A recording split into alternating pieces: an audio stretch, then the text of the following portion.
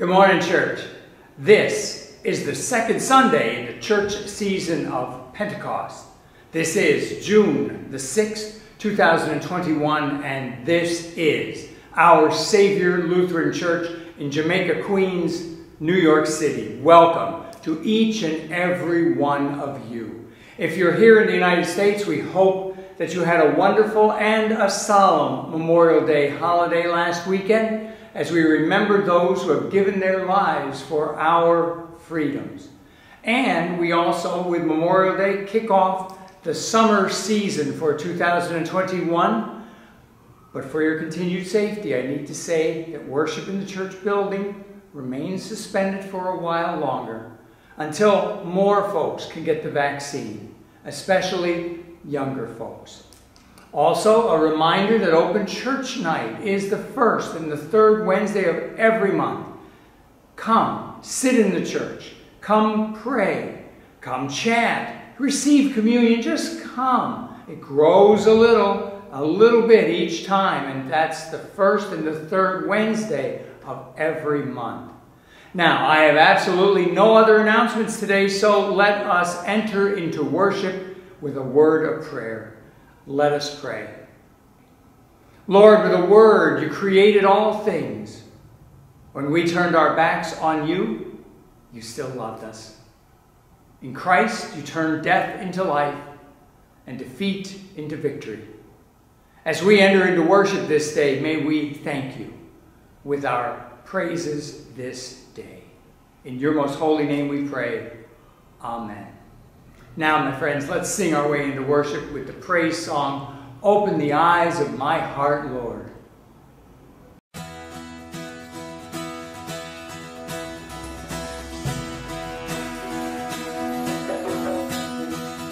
Open the eyes of my heart, Lord. Open the eyes of my heart. I want to see you. I want to see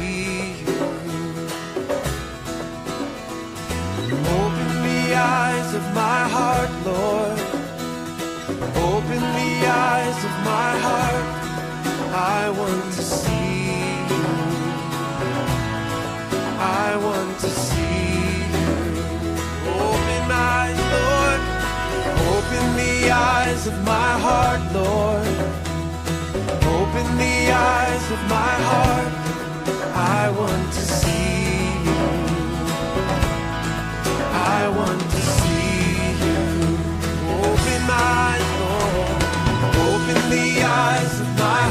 Lord. Open the eyes of my heart. I want to see you.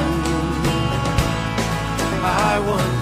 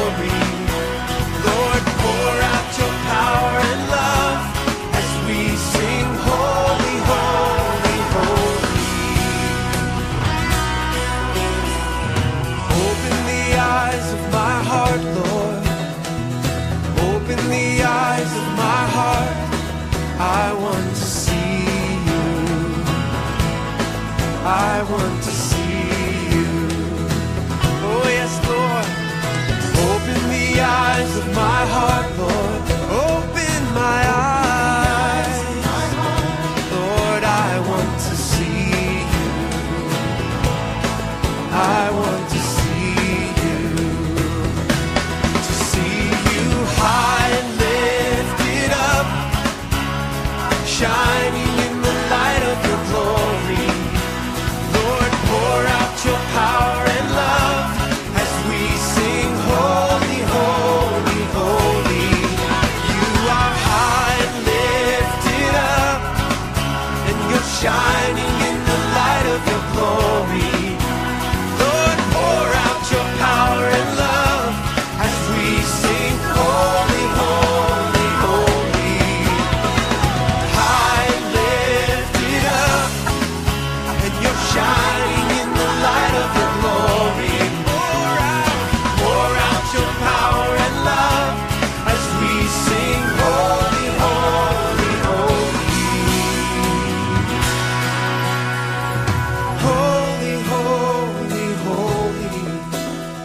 our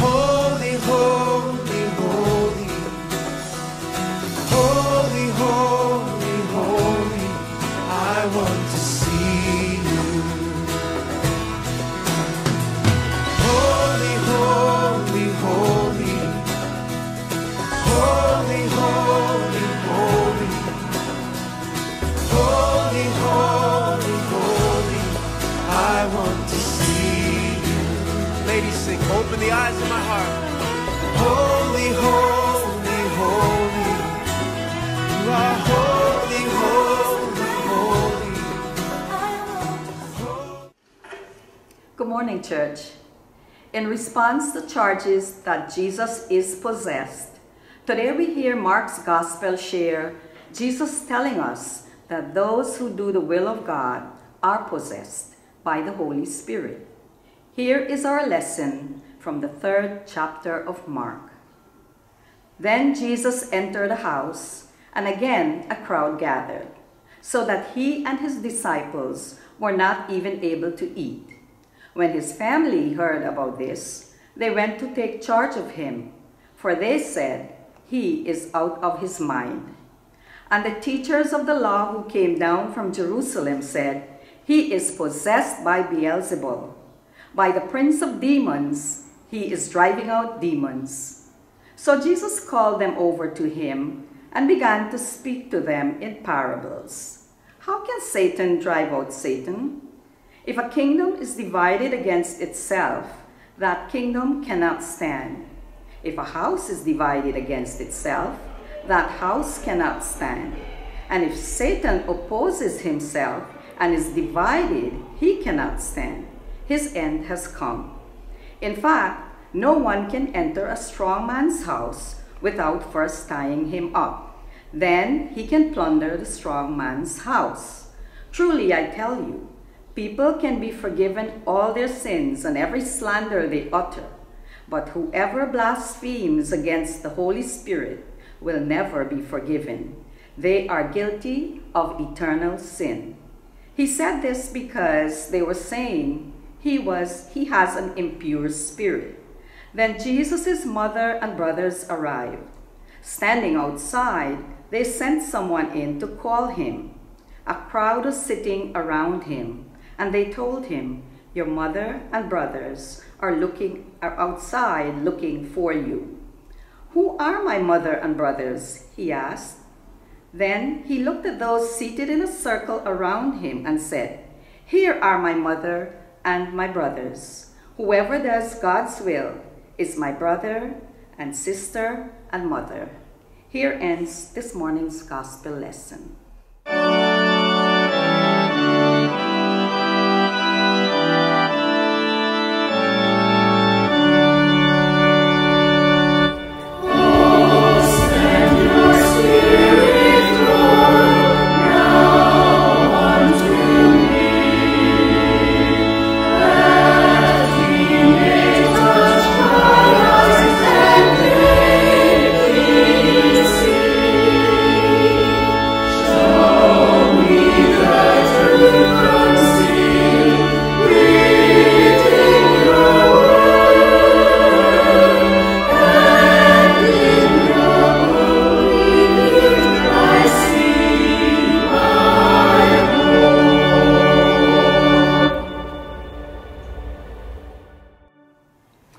Grace and peace be unto you from God our Father and from our Lord and our Savior, Jesus Christ. Amen. In the midst of the Me Too movement, I tell you today a Bible story about a man who got caught with his pants up. A game of hide and seek was being played out in Eden's garden. The home of Adam and Eve had become their hiding place. And God came a looking, looking for what was the very best of God's creation, the top of God's line. But where was Adam? Where was Eve? They were hiding, hiding from God. And since God was it, the Creator searched and searched for the beloved creation. Adam, where are you? I suspect that question dripped with compassion more than Adam, and anger. Adam, where are you? Because it was the compassion in God's voice, I suspect, that Adam was prompted to come out of hiding. God, I was afraid because I was naked and I hid myself. God, all good Jews know that it is an abomination to present themselves before the Lord naked. I didn't want to break the rules. I didn't want to disobey your laws. I didn't want to be disrespectful towards you and your ways. Sounds good, Adam, but you just can't fool the Almighty. Cutting to the chase, God asks two pointed questions. Who told you that you were naked? Have you eaten from the tree of which I commanded you not to eat? Adam had disrespected God. Adam had disobeyed the Lord. But appearing before the Almighty Au Naturel had little to do with that. Have you eaten from the tree of which I commanded you not to eat? Of course he had. He knew it. God knew it. And God knew Adam knew it. Have you eaten from the tree? It was a simple yes or no question, but look at what Adam does with his answer. The woman, yes, the woman you gave me, she gave me fruit from the tree, and I ate. Adam takes no responsibility for his own sinfulness. Instead, he tries to cover his embarrassingly bare backside by blaming Eve. Don't fail to see, though, whom he ultimately blames. The woman you gave me, God, she gave me fruit from the tree, and I ate. So begins the, the blame game, pointing up fractured interpersonal relations and a broken relationship with God. Paradise lost. A world that is fallen. Adam is the Hebrew word for man. So it is that his story is our story. Like him, we have disobeyed the Lord. Like him, we have disrespected God's ways, thinking we knew better or not really thinking at all. Like him, we have severed relationships with others and with God. We have not loved God as we should have. We have not loved our neighbors as ourselves. That is our sin. Scripture tells us of another, better way to go than to play the blame game. We can come out, come out from wherever we are. No need for us to hide from God. No need to try to justify ourselves by casting blame for our own sins on others. Like the psalmist, we can ask this question of God If you, O Lord, should mark iniquities, who could stand? And like the psalmist, we should always know that there is forgiveness with God. We can, therefore, hope in the Lord, for with the Lord there is steadfast love, and with him is great power to redeem. That great power to redeem was revealed on, on Calvary's cross by, by the one who said in the gospel lesson for this day, Truly I tell you, people will be forgiven for their sins and whatever blasphemies they utter. That steadfast love of God was made manifest by a second Adam, whose death and resurrection guarantees our eternal life with God. In Christ shall all be made alive. Even in the garden, after the fall, there were glimpses of God's mercy and love. Rewind back to the part where God gives the command and reminds Adam what the outcome of his sinfulness would be. God said, You may eat the fruit of any tree in the garden except the tree that gives knowledge and of what is good and what is bad. You must not eat the fruit of that tree. If you do, you will die the same day. Yet Adam and Eve, they didn't die. At least not the same day they sinned. And that's mercy. God withholding deserved punishment. And then there's this.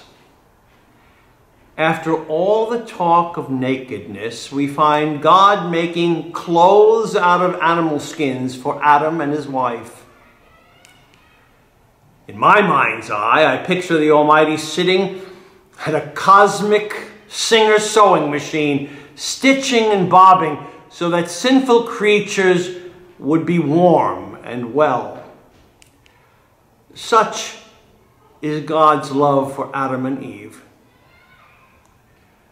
And that love now comes to us, sinners that we are, as God forgives us our every trespass and clothes us with the righteousness of his only Son, Jesus. Amen. Thank you, Pastor O'Rourke, for your words this morning. We now continue with worship by singing a, a good one for this Sunday in the season of Pentecost, standing on the promises of Christ my Lord. Let's sing.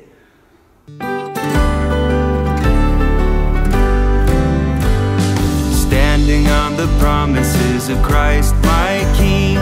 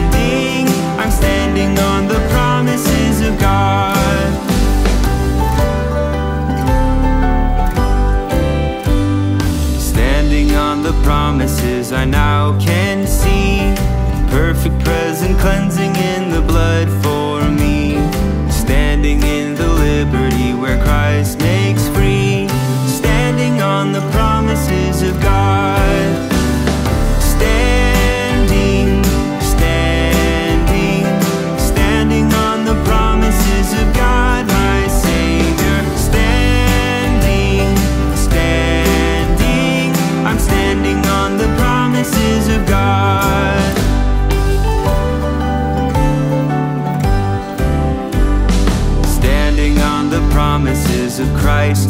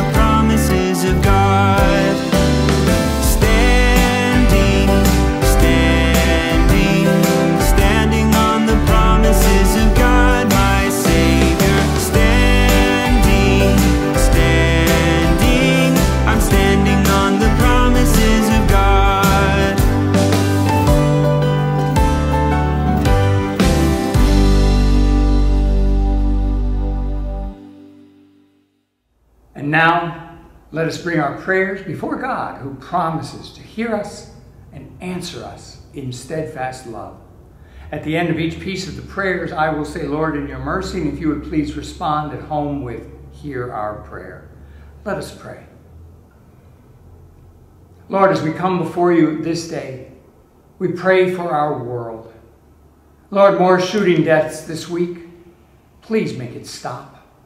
Please open the hearts of those in power to write legislation that helps to end this violence. Lord, in your mercy, hear our prayer. Lord, we thank you that we have rounded the corner on defeating this deadly virus. As we celebrate the great numbers this week, may we remain vigilant. May we remain cautious as we pray for it all to end. Lord, in your mercy, hear our prayer. Lord, God of the cosmos, we pray for creation. We pray for creatures great and small. We pray that as the climate heats up, we may be spared. May we work harder to heal this broken creation. Lord, in your mercy, hear our prayer. Lord, in Jesus, you bring healing to our world. Reveal to all the depths of your love. Accompany all who suffer in mind, in body, or in spirit. Restore all who are sick or grieving. This day we pray especially for Hannah and Janine, Eric and Colin, Shalana and Gwendolyn, Joan and Janela, Charles and Reggie, Devika and Jessica. As we pray for them, we also pray for those we name before you in the silence of our hearts. Lord, in your mercy, hear our prayer. May we set our minds on things eternal as we worship this day, and as we await the reopening of worship, may we extend your grace to more and more people. Lord, in your mercy, hear our prayer. We now entrust ourselves and all our prayers to you, O faithful God, through Jesus Christ our Lord, the one who taught us to pray, saying, Our Father, who art in heaven, hallowed be thy name. Thy kingdom come, thy will be done on earth as it is in heaven. Give us this day our daily bread, and forgive us our trespasses, as we forgive those who trespass against us. And lead us not into temptation, but deliver us from evil. For thine is the kingdom, and the power, and the glory, forever and ever. Amen. And now, my friends, receive God's benediction. May the Lord bless you and keep you. May the Lord make his face shine upon you and be gracious unto you. May the Lord lift up his countenance upon you and give you peace. Now, before we go, may you be blessed this week. Enjoy the summer of greater freedom. We'll see you all sooner than you realize. For now, we sing one more. How great thou art. Amen. Stay well, stay safe, and take care, y'all. We'll see you soon.